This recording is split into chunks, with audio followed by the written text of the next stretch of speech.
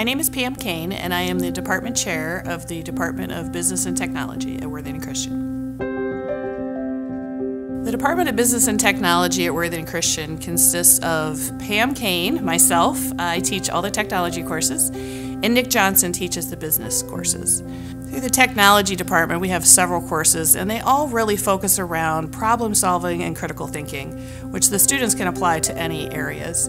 Um, through the programming classes, the student might be given a problem like, how do I schedule a student into courses? And can I create a program to do that?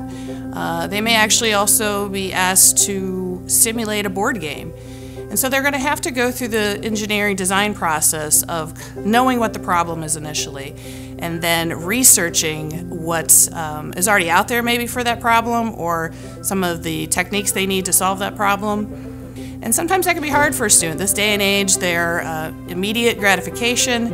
And so realizing that in order to play that video game that you enjoy to play, um, there's a lot of steps that went into it. And then if you want to create something as well, you're going to have to test and plan and fail and be okay with your failures and learn from those. So through the various courses, the programming, through the engineering class, robotics, they, they test out all of these critical thinking and problem solving skills.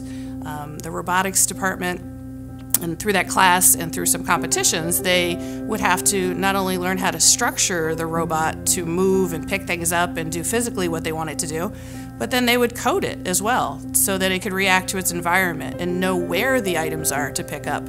Um, so it is a very all encompassing uh, department and area, and it really ties in not only to business and technology, but we find that it's cross curricular. They can use these skills to determine. Um, what they're going to do in science class. Critical thinking applies to all areas, and I think um, students just really benefit from the more practice they get through problem solving and critical thinking.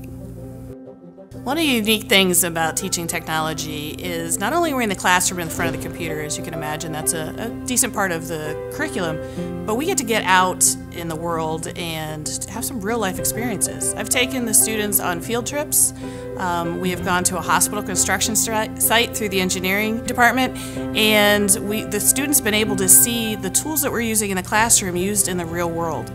We hear, hear business professionals say, yeah, we do the same thing you're doing, and then we make a building. And we put the hard hats on and we walk around, and it's really rather neat. The field trips, I don't think, are very um, abundant at a high school level, but it shows the kids that this is not just an educational, academic, you know, between nine and five kind of thing.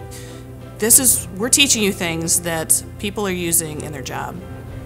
Teaching business and technology at a Christian school is quite a blessing for me. It's unique in the fact that we can approach this area from a godly lens.